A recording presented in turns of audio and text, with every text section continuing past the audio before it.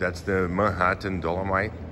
Beautiful material, as you can see, very unique colors. So you're gonna see lots of the black here and some dark gray and creamish here. So it's very modern color. So beautiful. And this material have a very nice uh, texture on the leather, as you can see there. So it's a very deep leather that we did. So it is hard, it is resistant to scratching, to staining, and to etch. It might etch a little bit since it's a dolomite, but since it's leather, it should not be much of a problem.